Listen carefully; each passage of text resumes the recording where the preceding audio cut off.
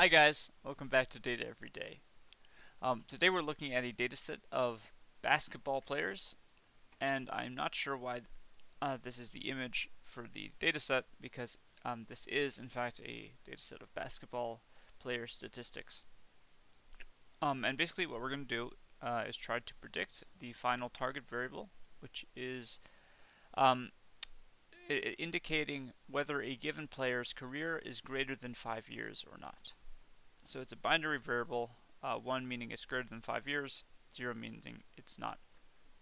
So we'll try to predict that based on a bunch of different uh, statistics for each player. Alright, let's get into the notebook. I'm going to import NumPy and Pandas for working with the data. Um, then we'll use PyPlot and Seaborn for visualization. Um, actually, I'm not sure I'll use Seaborn today, just PyPlot. Uh, and then we'll use the train test split function function and standard scaler from sklearn for pre-processing. Uh, finally, uh, I should separate this. We're going to use a, a, just a simple logistic regression model.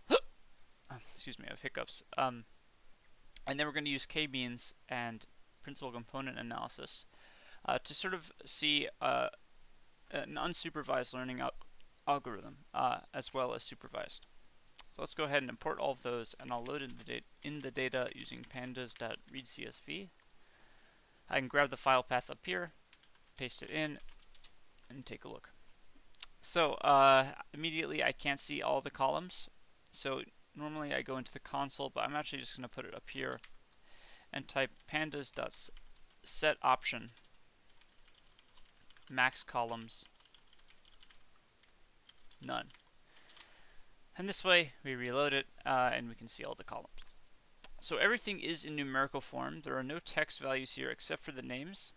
Um, and I would like to check if we have any missing values. So I'm going to get some info on the data set. Um, and it looks like we may have one column with missing values here, the 3 point percent column. Uh, so we'll, we'll, want to uh, fill those in when we start pre-processing, which is right now. So I'm going to create a function called preprocess inputs.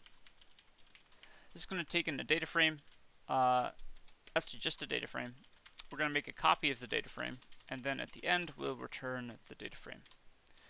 So right now all this does is copy our data frame, so I'm going to pass in data to uh, preprocess inputs, and I'm going to store the processed version in X. So right now X just looks the same, uh, but now we can add things in here and see how it affects the dataset. So first thing I want to do, if I want to make predictions, I want to drop the name. Um, so let's actually do that.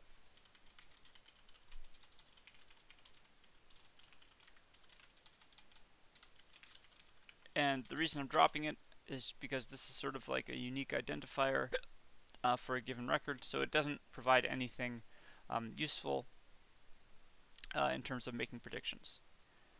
Uh, but this might be useful later, so you may want to save the save the name in its own variable before you drop it. I'm just going to drop it. Drop name column. Alright, and now um, I guess the next thing to do is fill the missing values.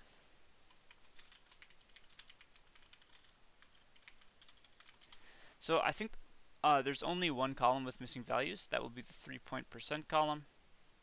So let's take the column and set it equal to a version of itself that has the missing values filled. So we'll use the fill_na function, which will fill missing values with whatever value we give it. Um, and because this is a numerical, a numerical column, uh, here it is, uh, a missing value can be uh, imputed based on the mean of the column.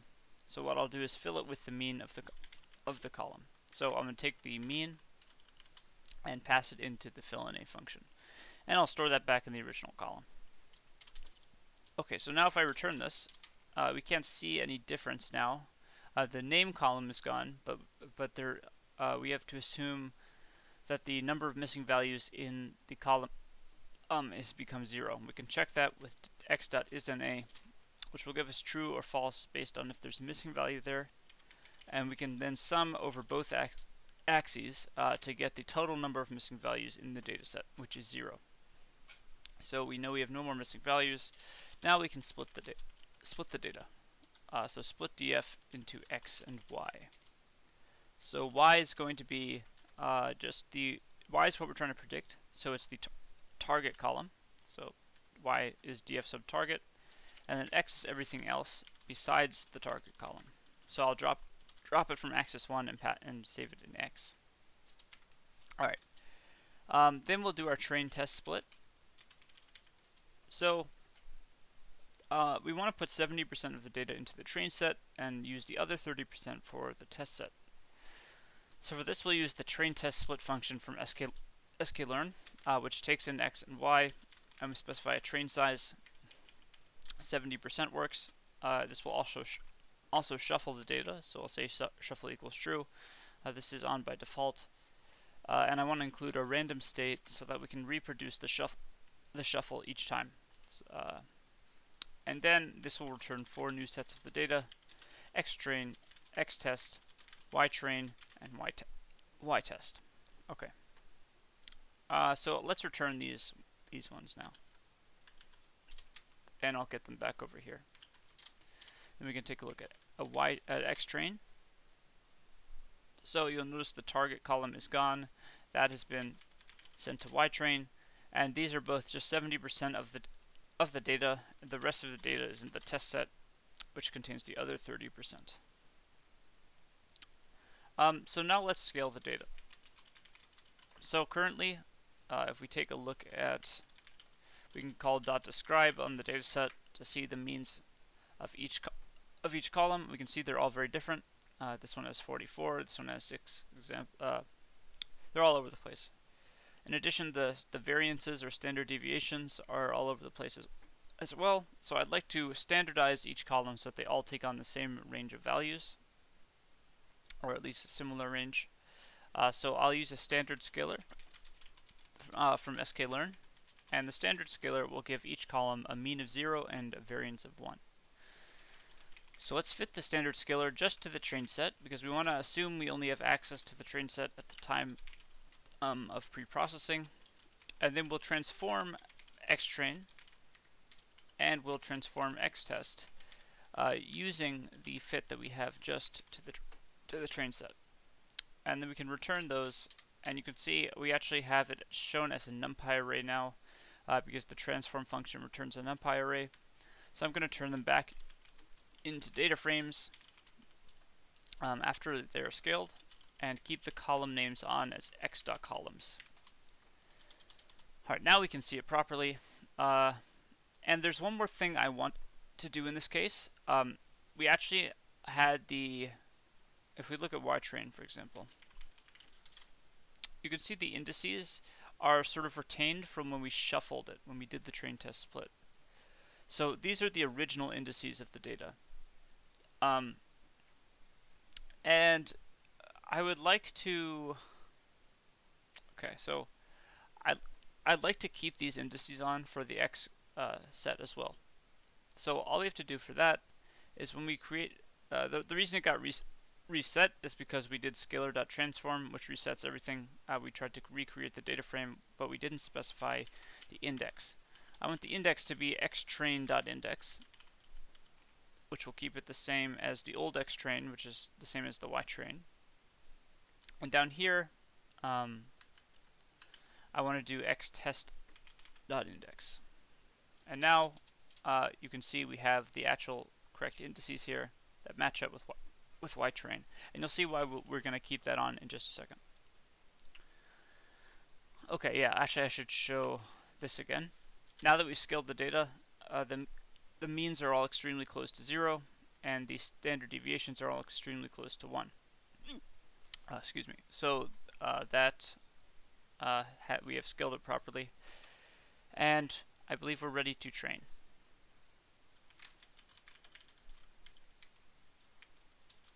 Okay. So I'm just going to do a simple model today, literally just three lines of code. Uh, we'll use a logistic regression model from sklearn. Then I will fit the model to the train set and print out the results. Uh, sorry, uh, should be X train and Y train. And we're going to print out, I'll say results or accuracy equals model.score x test y test. So this will evaluate the model on the test set and then store the accuracy value it returns in the accuracy. And then we'll say um, test accuracy. I'll display it to two decimal places and format it with a percent sign after it. Here pass in acc times 100 since we're doing a percentage. Alright, we got 71.22% accuracy. So not bad. I'm not going to go um, into like model optimization today because I want to try doing some unsupervised learning as well, clustering with the k-means algorithm. Excuse me. Um, so k-means is a very um, intuitive and simple algorithm, but it's a great way of clustering data uh, into segments if you don't already have a way to do have a way to do that. Uh, so the way we use this is with the k-means. Uh, we, could, it's like we create a k-means object from sklearn, uh, and we specify a number of clusters in here. Let's say four. This can be anything. This is our our choosing. This is the k in the k-means, and then we'll fit this object to the train set. So k, k-means dot fit x train, and what that will do essentially is um, for each example, we'll, we'll randomly initialize four cluster centers.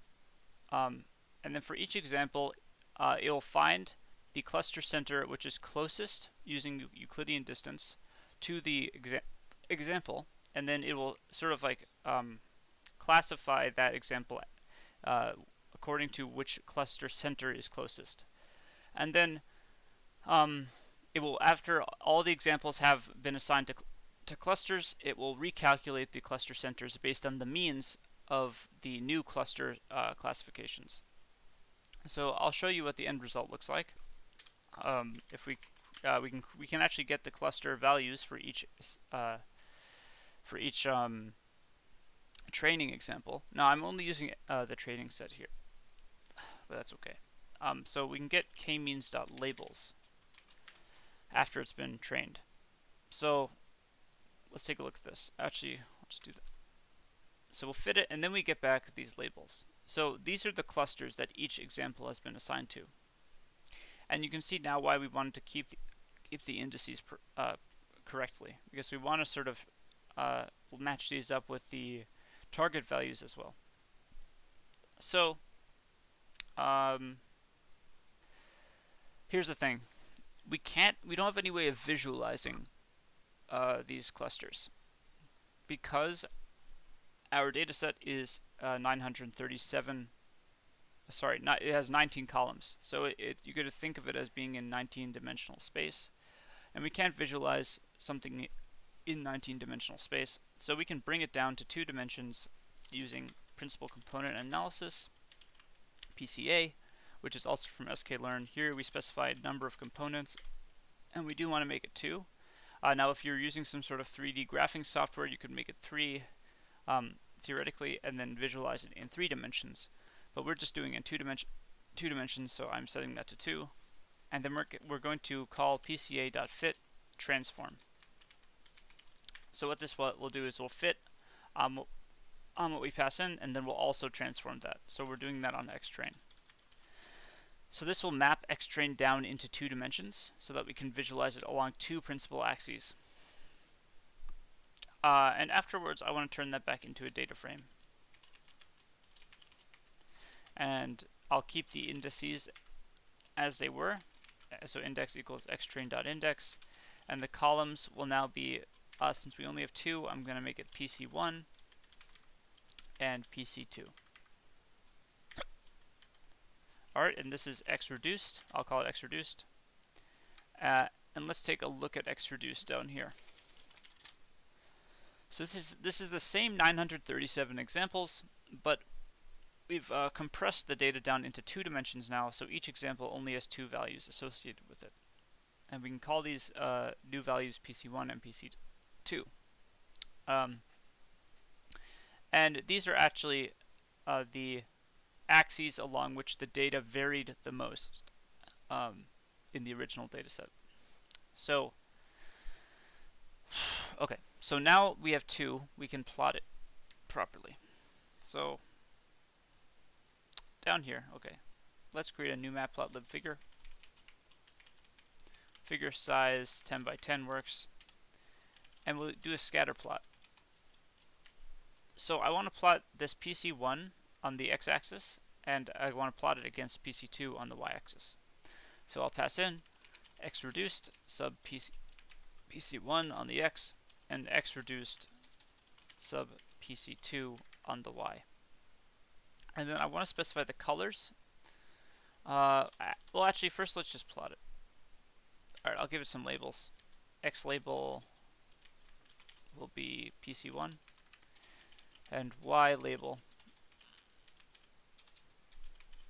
will be PC2. And then we'll give it a title. K means clustering. And show it. And so here's our graph, x versus y, PC1 versus PC2. This is a two-dimensional representation of our data. You can imagine in, in 19 dimensions, we squish it down into two dimensions, and then there we go. Uh, looks like looks like this. And so uh, our clustering, we can now actually visualize the clusters that we got with k-means using the PCA uh, dimensionality re reduction. So here are our k-means dot labels, right? Um, and I want to turn it into a pandas series. So what I'll what I'll do is um, just say pd.series using k-means.labels, specify the name as cluster, and we'll give it the same indices as xtrain.index. And then I'll call that clusters. Okay, and now uh, I'd like to actually put clusters on to the end here. So x reduced equals pandas.concatenate. Um, I'm going to concatenate x reduced along with the new clusters. Actually, I'll put y train on as well. What? All right, y train, and then finally the clusters on the end. And I'll concatenate that along axis one, and I'll display the result. Okay, so you can see uh, here is the principal component data. Then this is the original classification for a given exam example, and then the cluster that it has been assigned to. So let's we can use this cluster to generate colors in our data. We can do that by specifying this C equals x reduced sub cluster. And now you can see uh, the cluster clusters that the algorithm has found. Uh, so this data set uh, is not so clustered. You can see it's sort of like all grouped together, at least in the two-dimensional representation. Um, and then, uh, but it looks like it has found these sort of like dispersed ones. Uh, it is all put into one cl cluster. So we can actually change the number of clusters we have up here. If we change this to, let's say, well, we could do two. Uh, then we'd only have two cl clusters. Uh, we could change it to six or maybe eight we get a whole bunch, of eight different clusters. Last thing I want to do um, is I do want to plot, uh, I want to plot the cluster centers, or centroids. And we can do that um, with an, just plotting another scatter plot on top. Uh, we can get the cluster centroids like this, uh, with the k-means dot cluster centers underscore. And this is actually the location if we look at the shape, it's the location for each cluster uh, of a center in 19-dimensional space. So this is in our old space, uh, and we want to display it in principal uh, in our principal component uh, along our principal component axes. So we want to actually transform this uh, using PCA, and we'll use the same fit that we have to our PCA object. So it's already fit. We just call PCA.transform on these cluster centers. And we get the same thing uh, now mapped down to two dimensions. So we have each cluster, cluster center uh, expressed in two dimensions. Uh, and so let's call this centroids. And I'll put this up here. Um, yeah, right here is fine. And we'll save it for later. All right, so here now, um, I'm going to try to plot these, these centroids on here. Plot Plot.scatter. Um, so on the x x-axis, we'll use the here. Let's look back at centroids. Looks like this. So here is our x axis, and here is our y axis. So we'll say uh, centroids. We'll say all rows, just the first column on the x, and all rows, just the second column on the y. And I think that should do it. I just want to color, give it a color of red and a size of 300. And we can now see the cluster centers that were originally calculated uh, in 19 dimensional space and then mapped down along with the rest of the data into two dimensions.